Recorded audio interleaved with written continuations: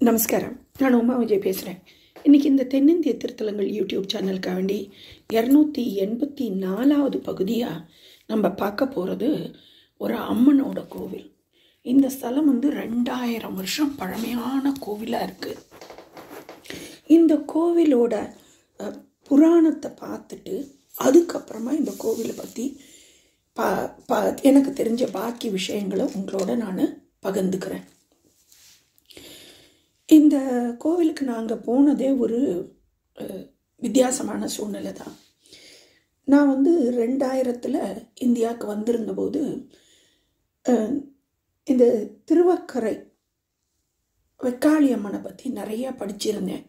அதனால் வெக்காளி அம்மன் கோவிலில் எல்லாமே வித்தியாசமாக இருக்குங்கிறபடியாக அங்கே போய் பார்க்குறதாவும் அங்கே அந்த சந்திரமௌலீஸ்வரருக்கு வந்து அந்த முகத்தோடு இருக்குங்கும்போது அதையும் பார்க்கணும் தரிசனம் பண்ணணுன்ட்டு கிளம்பினோம். நாங்கள் காரில் வந்துட்டு இருந்தபோது நாங்கள் ஊட்டிக்கெல்லாம் போயிட்டு குழந்தையில ஊட்டிக்கெல்லாம் கொடைக்கானல்லாம் கூட்டின்னு போயிட்டு வந்தோம். மதுரை கொடைக்கானல்லாம் போயிட்டு. அப்போ வர்ற வழியில் அந்த டிரைவர் வந்து ஒரு பாட்டு போட்டுட்டே வந்தார். அதில் இந்த அம்பாளோட பேரை சொல்லி சொன்னார். ஓ இந்த அம்பாளையும் பார்த்துடலாமே அப்படின்னு சொல்லும்போது சரி போகலான்னு சொல்லி போனது தான் இந்த ஸ்தலத்துக்கு. முதல்ல இந்த ஸ்தலத்தை பற்றின சலபுராணத்தை சொல்கிறேன் நமக்கெல்லாம் தெரியும். திரேதா யுகம் திரேதா யுகம் துவாபர யுகம் கலியுகம்லாம் இருக்குன்னு தெரியும். நம்ம இப்போ கலியுகத்தில் இருக்கோம். ஆனால் அதுக்கெல்லாம் முன்னாடி மணியுகம்னு ஒன்று இருந்ததுதான் அந்த மணியுகம்ங்கிற காலத்தில் பிரம்மாக்கும் சிவனுக்கும் ரெண்டு பேருக்குமே அஞ்சு அஞ்சு தலை இருந்ததாம். பிரம்மாக்கும் அஞ்சு தலை சிவனுக்கும் அஞ்சு தலை இருந்ததாம். அப்போ பிரம்மாவுக்கு வந்து தான் தான் படைக்கிறவருங்கும்போது அவருக்கு கொஞ்சம் ஆணவமும் வந்துடுறது. இந்த ஆணவத்தை போக்கணும் அப்படின்னு நினச்சபோது பார்வதி என்ன பண்ணுறாள்னா பிரம்மா வர்ற வரும்போது பார்த்துட்டு நாதா அப்படின்னு சொல்லி கூப்பிட்றாளாம். உடனே பிரம்மா வந்து தன்னோட நாதனை கூட யாருன்னு தெரியலையா பார்வதிக்கு? அப்படின்னு சொல்லி நினச்சி சிரிக்க ஆரம்பிச்சாராம். உடனே பார்வதி சிவன்கிட்ட போய் சொன்ன உடனே சிவனுக்கு கோபம் வந்து அவர் பிரம்மாவோட ஒரு தலையை கொய்திடுறார். அந்த தலையை பிச்ச உடனே அந்த பிரம்மாவுக்கு வலி பொறுக்க முடியலையா. உடனே அவர் வந்து சிவனுக்கு சாபம் கொடுக்குறார். என்னோட எந்த தலையை நீ பிச்சையோ அந்த தலை உன் கையிலேயே ஒட்டிக்கிட்டோம். நீ என்ன சாப்பாடு சாப்பிட்டாலும் அது அந்த தலை தான் சாப்பிடும். உனக்கு சாப்பாடு கிடைக்காது. நீ பித்தனா அலைஞ்சு பிக்ஷை எடுக்கணும்னு சொல்லி சாபம் கொடுத்துட்றாராம். அதே நேரம் சரஸ்வதி என்ன பண்ணுறா எ- தன்னோட புருஷனுக்கு இந்த மாதிரி ஒரு நிலைமை வந்தது காரணம் பார்வதி தான் அப்படின்னு சொல்லிட்டு கோபப்பட்டுண்டு நீ அழகாக இருக்கிறதுனால தானே உனக்கு இந்த ஆணவம் இருக்குது உன்னோட அழகு போய் நீ வயசான கிழவியா? கொக்கு ஓட இறகு எல்லாத்தையும் தலையில் வச்சுண்டு கிழிஞ்ச ட்ரெஸ்ஸை போட்டுண்டு நீ அலைஞ்சு திரிஞ்சு போவ. அப்படின்னு சொல்லி சரஸ்வதி வந்து பார்வதிக்கு சாபம் கொடுத்துட்றா. அப்போ பார்வதியும் எங்கெல்லாமோ அலைஞ்சி திரிஞ்சு சாபம்னு கொடுத்தாச்சுன்னா அந்த சாபத்துக்கெல்லாம் சக்தி அதிகம். இந்த காலம் மாதிரி கிடையாது. சும்மாவாது யாராவது சாபம் கொடுத்தா எல்லாம் நடக்கிறதெல்லாம் கிடையாது. ஏன்னா அவள் சக் பக்தி சிரத்தையோடு எதையும் செய்யறது கிடையாது. அதனால் அந்த காலத்தில் அந்த சாபங்கள் பலிக்குங்கிறபடியாக பார்வதிக்கும் சாபம் வந்துடுறது. எங்கெல்லாமோ அலைஞ்சி திரிஞ்சு அவள் வந்து திருவண்ணாமலை கிட்ட வரா. திருவண்ணாமலை கிட்ட வந்து அங்கே இருக்கிற ஒரு குளத்துல குளிச்சு எந்திரிக்கும் போது அம்பாளுக்கு பழைய ரூபம் வந்துடுறது. உடனே அங்கேருந்து அப்படியே கிழக்கு பக்கமாக நடந்து வரா. வரும்போது இந்த ஊர் ஒரு ஒரு ஊர் இருக்குது தாயனூர் அப்படின்னு ஒரு ஊர் இருக்குது அந்த ஊரோட ஏரிக்கரை கிட்ட அப்படியே தங்கிடுறா. ராத்திரியும் ஆயிடுறது. உடனே அங்கேயே தங்கிடுறா. காத்தால் குளிக்கணும்னு சொல்லும்போது தன்னோட கழுத்தில் இருக்கிற ஆரத்தை வந்து குளத்தங்கரையில் வச்சுட்டு குளி குளிக்கலாம். அப்படின்னு சொல்லி அந்த ஆரத்தை கழட்டி கீழே வச்சாக்க அந்த ஆரம் வந்து ஒரு அழகான பெண்ணாக மாறிடுறது. அதுக்கும் சாபம் இருந்ததுங்கிறபடியா. உடனே இவர் அந்த பெண்ணுக்கும் ஆசீர்வாதம் பண்ணி நீ இந்த இடத்துலையே முத்தாரம்மன் அப்படிங்கிற பேரோட இரு. இருந்து ஜனங்கள் உன்னை வந்து யாரெல்லாம் வந்து உன்னை வணங்குறாளோ அவளுக்கு ஆசை கொடு அப்படின்னு சொல்லி முத்தாரம்மனா அங்கேயே அந்த இவாளுக்கும் வா அருள் கொடுத்துட்டு இப்படியே நடந்து வர. நடந்து நடந்து வந்துட்டு இருக்கும்போது அங்கே வந்து மலையரசன் பட்டினம்னு ஒரு ஊர் இருக்குது அந்த மலையரசன் பட்டினம் ஊரை வந்து ஒரு ராஜா மலையரசன்னு ஒரு ராஜா ஆண்டுண்டு வரான். அந்த ராஜாவுக்கு ஒரு நந்தவனம் இருக்குது பூந்தோட்டம் இருக்குது அந்த நந்தவனத்தில் காவலாளியாக இருக்கிறது வந்து ஒரு மீனவ சமுதாயத்தை சேர்ந்த ஒரு ஆள் தான் காவலாளியாக இருக்கார். அம்பாள் என்ன பண்ணுறா நேராக அந்த இடத்துல போய் ஒரு புத்து மாறியாகி ஒரு புத்து மண்ணில் அம்பாள் அதில் உட்கார்ந்துன்றா இந்த மீனவ ஜனங்கள் அதை பார்த்த உடனே திடீர்னு இந்த பூங்காவனத்தில் ஒரு புத்து வந்துருத்தேன்னு சொல்லி அவள் என்ன பண்ணுறா அதை உடனே மஞ்சள் குங்குமம் எல்லாம் பூசி புடவை சாத்தி தீபம் இட்டு எல்லாம் அவள் வணங்க ஆரம்பிச்சிடுறா. வணங்க ஆரம்பிச்ச உடனே இந்த செய்தி போகிறது தன்னோட நந்தவனத்தில் தன்னோட பூங்காவனத்தில் இப்படி வந்து நம்ம கிட்ட கேட்காம இவா வந்து பூஜைகள்லாம் பண்ணின்னு இருக்காளா அப்படின்னு சொல்லி ராஜாக்கு ரொம்ப கோவம் வந்து கடப்பாறையால் அதை வந்து இடித்து தள்ளுங்கோன்னு சொல்லி அவன் கட்டளை இடுறான்.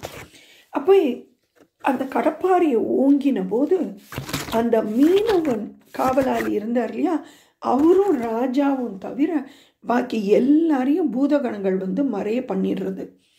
பாக்கி எல்லாரும் மறைஞ்சு போன உடனே ராஜாவுக்கு ரொம்ப பயமாயிடுறது. தான் தப்பு பண்ணிட்டோம்னு அப்போ தான் தெரியறது உடனே தானே அந்த புத்து மண்ணில் கீழே விழுந்து தன்னோட தவறுக்கு மன்னிப்பு கேட்குறான் மன்னிப்பு கேட்கும்போது அம்பாள் அங்கே வந்து சொல்கிறா நான் வந்து இங்கே எனக்கு வந்த சாபத்தை போக்குறதுக்காக வேண்டி தான் நான் இங்கே வந்து தபஸ் இருக்கிறதுக்காக வேண்டி வந்தேன். அதனால் நான் இங்கே இருக்கேன். அப்படின்னு சொல்லி சொல்கிறா உடனே அவனும் சரின்றான். அதனால் இந்த அம்பாளுக்கு இன்னும் ஒரு பேர் வந்து பூங்காவனத்தாள் அப்படின்னும் பேர். இந்த மலையனூர் அப்படிங்கிற ஊர் மலையம் மலையரசன் பட்டினம்ங்கிறது மலையனூர்னு மாறிடுது. இந்த ஊர் மேல்மலையனூர் அப்படின்ட்டு பேர். இங்கே இருக்கிற அம்பாளுக்கு பேர் அங்காள பரமேஸ்வரி தாண்டேஸ்வரி பூங்காவனத்தம்பாள்னு அதிகமாக பேர் இருக்கிற அம்பாள் இந்த அம்பாள் ரொம்ப சக்தி வாய்ந்தவர் வடக்க பார்த்து வடக்க பார்த்து சாதாரணமாக காளி ரூபத்தில் அதாவது உக்ரவமாக இருக்கிறவா இருப்பாள் இந்த அம்பாளும் வடக்க பார்த்து தான் இருக்கா. இந்த அம்பாளை யார் எது கேட்டாலும் பக்தர்கள் என்ன கேட்டாலும் அவளுக்கு அருள் புரியறதுங்கிறது அம்பாள். நான் இங்கே செய்கிறேன்னு சொல்லியிருக்கா. அதுக்குண்டான விவரத்தையும் நான் சொல்கிறேன் இப்போ அம்பாள் இங்கே வந்து இங்கேருந்து இப்படி பூஜை பண்ணிகிட்டு இருக்கேன்னு சொல்லிட்டாளா? அதே நேரத்தில் சிவனுக்கும் சாபம் கிடச்சிருது இல்லையா? அதனால் சிவனோட கையில் அந்த பிரம்மனோட தலை ஒட்டின்னு இருக்கு. யார் எந்த சாப்பாடு போட்டாலும் அந்த தலை சாப்பிட்றது சாப்பிட்டபடியே அந்த பிரம்ம கபாலம் சாப்பிட்ட உடனே பிள் சிவனுக்கு சாப்பாடும் இல்லாமல் அப்படியே ரொம்ப சோர்ந்து போய் அவரும் ஊர் ஊராக சுற்றின்னு இருக்கார். அந்த நேரத்துக்கு மகாவிஷ்ணு என்ன பண்ணுறார் அம்பாள் கிட்ட சொல்கிறார் சரி இப்போ வந்து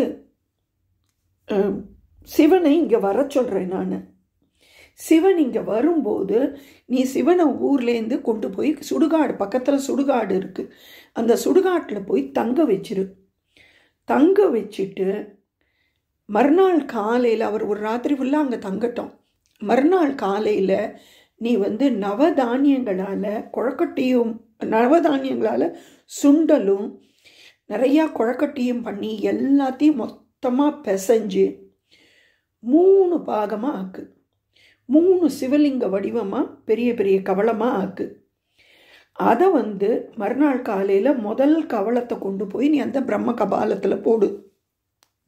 அந்த பிரம்ம தலை வந்து அதை சாப்பிட்ரும் அதுக்கப்புறமா திருப்பி ரெண்டாவது கவளத்தை போடு. அதையும் அது சாப்பிட்ரும் சாப்பிடும்போது அதோட நாக்கில் என்ன ஆகிடும் அந்த சாப்பிட்ட டேஸ்ட் அப்படியே தங்கிடும். அந்த சாப்பாட்டோட உணவோட சுவை தங்கிடும். அப்போ மூணாவது கவலத்தை நீ அதில் போடுற மாதிரி அந்த பிரம்ம கபாலத்தில் போடுற மாதிரி கிட்டக்க எடுத்து பாவனை பண்ணிட்டு அதை அப்படியே உதுத்து கீழே சிந்த விட்டுரு கீழே அப்படியே கை தவறி விழுந்த மாதிரி பண்ணிடு. அப்படி பண்ணும்போது இந்த சாப்பாட்டு சுவைனை அறிஞ்சதுனால இந்த பிரம்ம தலை என்ன ஆகிடும் சிவனோட கையை விட்டு கீழே இறங்கி அந்த கீழே இருக்கிற சாப்பாட்டு எல்லாத்தையும் எடுத்து சாப்பிட்றதுக்கு கீழே இறங்கிடும்.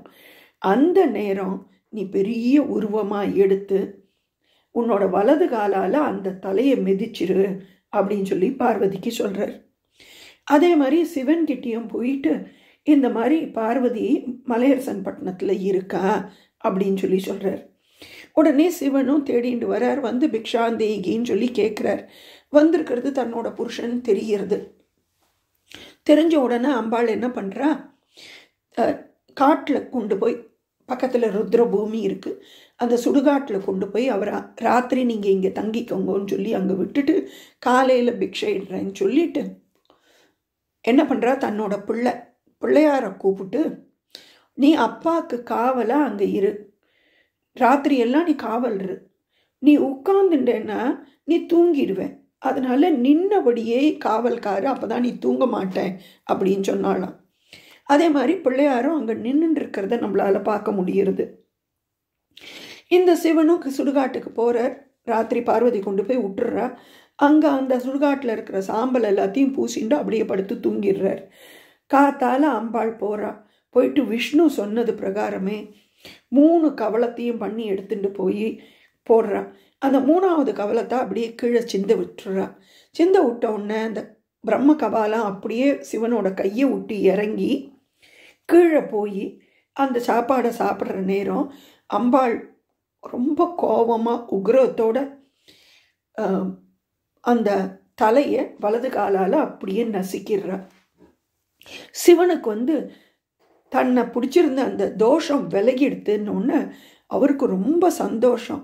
அவர் ஆனந்த தாண்டவம் ஆடுறாராம்.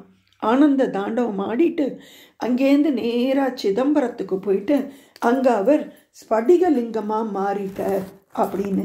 இப்போ ரெண்டு நாள் முன்னாடி போட்டிருந்த ஒரு பகுதியில் ரெண்டு மூணு பகுதிக்கு முன்னாடி நான் சொல்லியிருந்தேன் ஸ்படிகலிங்கம் அங்கே தில்லையில் இருக்குது அப்படின்ட்டு. இந்த லிங்கம் இவர் தான் அங்கே போய் ஸ்படிகலிங்கமாக போயிட்டார்.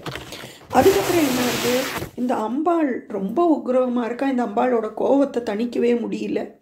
அப்போ தேவர்கள்லாம் என்னடா பண்ணுறதுன்னு தெரியாமல் திருப்பி விஷ்ணுகிட்டேயே போகிறா போய் எங்களுக்கு ஏதாவது வழி பண்ணுங்க. அம்பாள் இத்தனை உக்ரவமாக இருக்காளேன்னு சொல்லும்போது அவர் சொல்கிறார் நீங்கள் ஒரு அழகான தேரை பண்ணுங்க.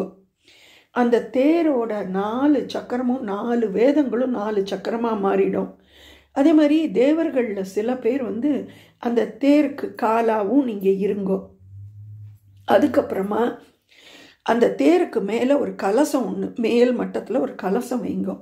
அந்த கலசத்தில் நான் இருப்பேன்.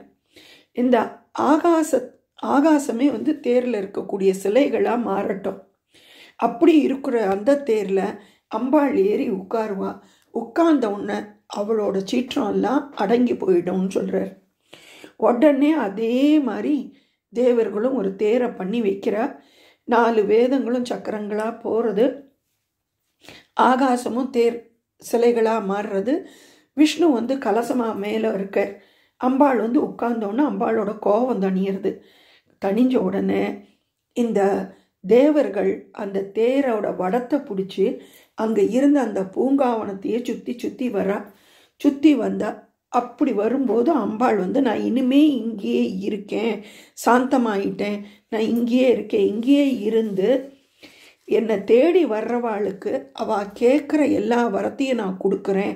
அப்படின்னு சொல்லிட்டு அந்த சொன்ன சொல்ல இன்றைக்கும் அம்பாள் காப்பாத்தின்னு இருக்கா இந்த கோவிலில் போனாக்க பில்லி சூனியம் ஏவல் மன பிரமை மன அழுத்தம் இருக்கிறவா எந்த விதமான எதிரிகள் தொல்லை எல்லாமே வந்து இங்கே வந்து தீர்ந்து போயிடுறது அப்படிங்கிறது இந்த அம்பாளை தரிசனம் பண்ணாலே கிடைக்கிறது அப்படின்னு சொல்லி சொல்லப்படுறது. இங்கே இருக்கிற ஸ்தல விருட்சம் வந்து வாகை மரம். அதாவது மயில் கொன்றைன்னு சொல்லி சொல்லுவாள் இந்த மயில் கொன்றை மரத்தில் வந்து நிறையா பேர் தொட்டில் கட்டிட்டு போகிறத பார்க்க முடிஞ்சது. அந்த தொட்டில் கட்டுறதுக்கு காரணம் வந்து குழந்தை இல்லாதவா இந்த மயில் கொன்றை வாகை மரத்தில் வந்து தொட்டில் கட்டிட்டு போனால் அவளுக்கு புத்திரபாகியம் கிடைக்கிறது அப்படிங்கிற நம்பிக்கை இருக்குது ஆடி மாதம் வரப்போகிறது ஆடி மாதம்னாலே இந்த கோவிலில் அவ்வளோ விசேஷமாக ஆடி செவ்வாய் ஆடி வெள்ளி எல்லாமே இங்கே வந்து அவ்வளோ விசேஷமாக நடக்கிறது. இங்கே இருக்கிற அம்பாள் வந்து நாகமாக விஷத்தை கக்கக்கூடிய நாகமாக அவ்வளவு உக்ரவத்தோடு இங்கே நாகமாக இருக்காளாம். அம் அப்படின்னாக்க உள்ளே. காலம் அப்படின்னாக்க விஷம். அப்போது அங்காளம் அப்படின்ட்டு இருக்கிறபடியாக தான் இந்த அம்பாளுக்கு அங்காள அம்மன் அப்படின்னு பேர் அப்படின்னு சொல்லப்பட்டது. வால்மீகி முனிவர்ன்ட்டு இருந்தார் இல்லையா? அவர் இந்த தலத்தில் மோட்சமாக மோட்சம் அடைஞ்சார் அப்படின்னும் ஒரு கருத்து இருக்குது ஆதி காலத்தில் இந்த பகுதியில் ருத்ர பூமியா அதாவது ருத்ர ஆரண்யம் சுடுகாடோடு இருந்திருக்கு. அது சக்தி பீடமாக இந்த அம்பாள் வந்து உட்கார்ந்தபடியாக சக்தி பீடமாக மாறினபடியாக இந்த இடத்துக்கு வந்து ருத்ர சக்தி பீடம் அப்படின்னு பேராக இருக்குது இப்போ இந்த அம்பாள் வந்து புட் புத்தில் இருக்கிற அம்பாளாக இருக்கா? இங்கே பார்த்தோன்னா கோவிலில் புற்றுமண் தான் இங்கே இருக்குது இந்த புற்றில் இருக்கிறபடியாக இந்த அம்பாளுக்கு வந்து புற்று தேவி அப்படின்னும் சொல்லப்படுறது. யாரெல்லாம் எந்த கணவனெல்லாம் மனைவிகளை தொல்லப்படுத்துகிறாளோ அடித்து துன்புறுத்தி எல்லாம் பண்ணுறாளோ இல்லை அதே மாதிரி மனைவியை விட்டு பிரிஞ்சு போனாலோ? அந்த மனைவிமார்கள் இந்த அம்பாளை வந்து வேண்டிண்டா? அவளோட குடும்பத்தில் ஒத்துமையை கண்டிப்பாக கொடுக்குறா. அந்த கணவன்மாரை திரும்பி நல்ல வழியாக கொண்டு வரா அப்படிங்கிறது இங்கே இருக்கிற மக்களுக்கு ரொம்ப பெரிய நம்பிக்கையாகவே இருக்குது இந்த புத்து மண்ணை நாற்பத்தி எட்டு நாள் நெத்தியில் பூசிட்டு வந்தாக்க எல்லா விதமான நன்மையும் தேடி வரும். எந்த விதமான கிரக தோஷங்கள் இருந்தாலும் குறிப்பாக ராகுகேது தோஷம் எது இருந்தாலும் அதெல்லாம் நீங்குங்கிறதும் இந்த ஸ்தலத்தோட புற்றுமண்ணோட சிறப்பாக இருக்குது அதுக்கப்புறம் இந்த கோவில் வந்து காத்தால் ஆறு மணிக்கு திறந்தான்னா ராத்திரி ஒம்பது மணி வரைக்கும் திறந்தே இருக்குது இந்த பகலில் நட சாத்துறதுங்கிறது இந்த கோவிலில் கிடையவே கிடையாது. அதே மாதிரி பார்த்தோம்னாக்க நான் அமாவாசை பௌர்ணமி அன்னைக்கு இங்கே ரொம்ப சிறப்பு நிறையா கூட்டம் வருது. அன்னைக்கு வந்து இங்கே இருபத்தி நாலு மணி நேரமும் காத்தாலேருந்து மறுநாள் காத்தால வரைக்கும் கோவில் திறந்தே இருக்கும். இங்கே வந்து திருவண்ணாமலைக்கு போகிறவா அம்பாள் திருவண்ணாமலைக்கு போயிட்டு தானே இந்த இடத்துக்கு வந்தால் தன்னோட சுயரூபம் எடுத்துட்டு அதனால் திருவண்ணாமலைக்கு போகிற பக்தர்கள் இந்த ஸ்தலத்துலையும் போய் தரிசிக்கணும் தரிசிக்க வேண்டிய ஸ்தலம் இது அப்படின்னும் சொல்லப்படுறது. இங்கே வந்து அம்பாளுக்கு அமாவாசை அமாவாசைக்கு ஊஞ்சல் சேவைன்னு நடக்கிறது. இந்த ஊஞ்சல் உற்சவத்தை பார்த்தாலே எந்த விதமான நோயும் தீர்ந்து போயிடும். அப்படிங்கிறது. இந்த கருவறையில் இருக்கிற அம்பாளை கொஞ்சம் உத்து பார்த்தோன்னாக்க கிட்டக்க போய் உத்து பார்க்குற பாக்கியம் எனக்கு கிடச்சிது. உத்து பார்த்தோன்னா அம்பாளோட மூஞ்சி வந்து அப்படியே ஒரு வயசான பெண்மணி அங்கே உட்கார்ந்துட்டுருக்கிற மாதிரி தான் இருக்கும். அது அந்த சலபுராணத்தில் சரஸ்வதி சாபம் கொடுக்குறா இல்லையா? உன்னோட அழகு போய் நீ கிழவி மாதிரி போகணும் வயசானவளாக போகணும்னு. அது படித்தபடியாக அங்கே அம்பாளை திருப்பி அதை பார்க்கும்போது அது கரெக்டாக தெரிகிறது நமக்கு. அதுக்கப்புறம் இங்கே வந்து அம்பாள் வந்து இங்கே அம்பாள் கிட்ட சாம்பல் தான் நமக்கு பிரசாதமாக கொடுக்குறா. அதுக்கு என்ன காரணம் அப்படின்னு பார்த்தோம்னாக்க இந்த தட்சனோட யாகத்தில் தன்னோட அவிர்வாகம் சிவனுக்கு கொடுக்கறதுக்கு கூப்பிடாம தட்சன் வந்து அவமரியாதைப்படுத்திடுறான். அதனால் தாட்சாயினி அங்கே போகிறா போய் அவள் அப்பாட்ட ஏன் கூப்பிடலன்னு சொல்லி கேட்க போகும்போது அவமானப்படுத்தினோடனே அந்த தட்சனோட யாகத்தீலேயே விழுந்துடுறாம்பாள். விழுந்து தன்னோட உடம்பு அழிச்சின்றா இல்லையா? அதனால் அந்த தாட்சாயினியோட அவதாரம் தான் இந்த அம்பாள் அங்காளம்மன்கிறபடியா இங்கே பியூபதி தான் பிரசாதமாக இருக்குது மூணு தொடர்ந்து மூணு அமாவாசை இங்கே வந்து இந்த அங்காளம்மனை வழிபட்டு இந்த ஊஞ்சல் உற்சவத்தை பார்த்தாக்க சகல விதமான நோய்களும் போயிடும் அப்படின்னு சொல்லப்படுறது.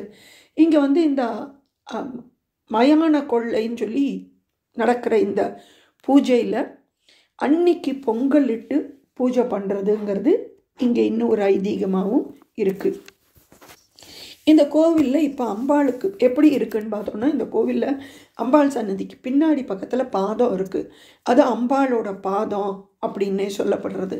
அதை பார்த்தாலே அதை வழிபட்டாலே அம்பாளோட கருணை உடனே நமக்கு கிடச்சிரும். பாத தரிசனம் அப்படின்னு சொல்லப்படுறது. இன்றைக்கும் பார்த்தோம்னா திருப்பதியில் வந்து வெள்ளிக்கிழமையில் நிஜபாத தரிசனம்னு ஒரு சேவையே தனியாக இருந்துட்டுருக்கு ஒவ்வொரு நாள் ஒவ்வொரு சேவை அப்படி நிஜபாத சேவைன்ட்டுருக்கு இந்த சன் இந்த கோவிலுக்கு முன்னாடி பார்த்தோம்னாக்கா ஒரு அம்பாள் வந்து அப்படியே மல்லாக்கப்படுத்த மாதிரி விழுந்து கிடக்கிற மாதிரி ஒரு உருவ சிலை இருக்குது அந்த அம்பாளுக்கு பேர் பெரியாயி அப்படின்னு சொல்கிறான் எப்படி வந்து நமக்கு கோயம்புத்தூர் பக்கத்தில் அம்பாள் வந்து சுடுகாட்டில் அப்படியே படுத்துன்னு மாதிரி இருக்காளோ அதே மாதிரி இங்கே வந்து மாசாணி அம்மன் எப்படி படுத்துட்டு இருக்காளோ அதே மாதிரி இங்கே வந்து அம்பாள் மல்லாக்க படுத்துட்டுருக்கா இந்த மல்லாக்க படுத்துன்றதுக்கு என்ன காரணம்னா இந்த தட்சனோட யாகத்தில் விழுந்த அம்பாளோட நிலை அப்படி தான் விழுந்திருந்தா அப்படின்னு சொல்லப்படுறது. அந்த அம்பாளுக்கு பெரியாயின்னு பேர். இந்த அம்பாளுக்கு சுற்றி வர இருக்கிற மண்டபத்தில் பார்த்தோம்னாக்க கிட்டத்தட்ட நூற்றி எட்டு விநாயகர் சிலை இருக்கிறத நம்மளால் பார்க்க முடியுறது. அதுக்கப்புறமா இங்கே தனியாக ஒரு சன்னதி இருக்குது அந்த சன்னதியில் பாவாடை ராயன் அப்படின்னு சொல்லி ஒரு காவல் தெய்வம் சொல்லப்படுறார். அந்த காவல் தெய்வத்துக்கு அசைவ உணவு மாமிசம் எல்லாம் சமைச்சு நைவேத்தியம் பண்ணுற பழக்கம் இந்த கோவிலில் இருக்குது அப்படின்னு தெரிகிறது இந்த கோவிலில் ரெட்ட பிள்ளையார் இருக்கார். இந்த ரெட்ட பிள்ளையாரை தரிசித்தா நம்மளுக்கு சந்தோஷம் ரெட்டடிப்பாக ரெட்ட பங்காக கிடைக்கும் அப்படிங்கிறதும் இருக்குது வெள்ளி சனிக்கிழமை ஞாயிற்றுக்கிழமை வெள்ளி சனி ஞாயிறு பௌர்ணமி இந்த நாள்லெல்லாம் இங்கே அம்பாளுக்கு அபிஷேகம் கிடையாது. அமாவாசைக்கு அமாவாசை ஊஞ்சல் உற்சவம் நடக்கிறது. இந்த இந்த ஊருக்கு இன்னும் ஒரு பேர் மலையனூர் வந்ததுக்கு காரணம் வந்துட்டு மலை அரசியான பார்வதி மலையத்துவ ஜன்மகள். அந்த பார்வதிங்கிறபடியா ப- மலையரசிங்கிறபடியா இந்த அம்பாள் இருக்கிற இடம் மலையனூர் அப்படின்னு சொல்லப்படுறது. மற்றபடி இங்கே சுற்றி வர எங்கேயும் மலை எதுவுமே கிடையாது. ரொம்ப சக்தி வாய்ந்த அம்பாள். இப்போ ரெண்டு நாள் முன்னாடி அமாவாசை நடந்தது. எனக்கு தெரிஞ்ச ஒருத்தர் இந்த அமாவாசைக்கு அங்கே போயிட்டு அந்த ஊஞ்சல் சேவையை பார்த்துட்டு வந்தேன் அப்படின்னு சொல்லி நேற்று ராத்திரி சொல்லும்போது இந்த ஸ்தலத்துக்கு நான் போனது பார்த்ததெல்லாம் ஞாபகத்துக்கு வந்தது. அதனால தான் இன்னைக்கு இதை இந்த பதிவாக நான் போடுறேன். இந்த வீடியோ பிடிச்சிருந்ததுன்னா லைக் பண்ணுங்க கமெண்ட் பண்ணுங்க தெரிஞ்சவாளோட ஷேர் பண்ணுங்க. நமஸ்காரம். தேங்க்யூ